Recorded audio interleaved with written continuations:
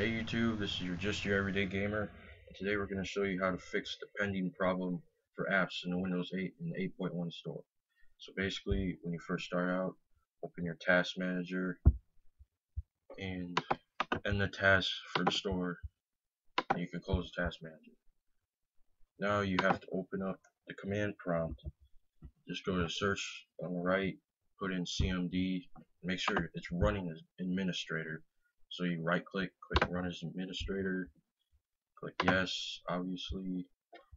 Then when you do that, put in net stop W U A U S E R V.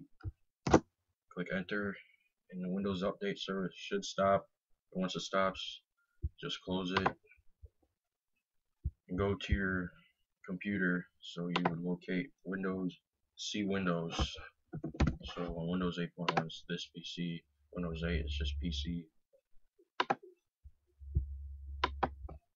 You go to your local disk, go to Windows right here, and when you gotta find the software distribution folder, which will be right here, and you would delete that. And you need administrative privileges. Well, I already have it on here, but once it's deleted, close it, and you gotta open up CMD again as admin. Then put net start W U A U S E R V. Click enter. Windows Update service should start, and you can close that. After that, go to search, type in troubleshooting.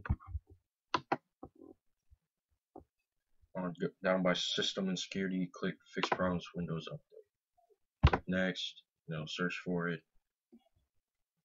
Well, I already mine so after it show it should fix it for you. Once that is done you're at you're set. You should be able to download your apps. Thank you for your time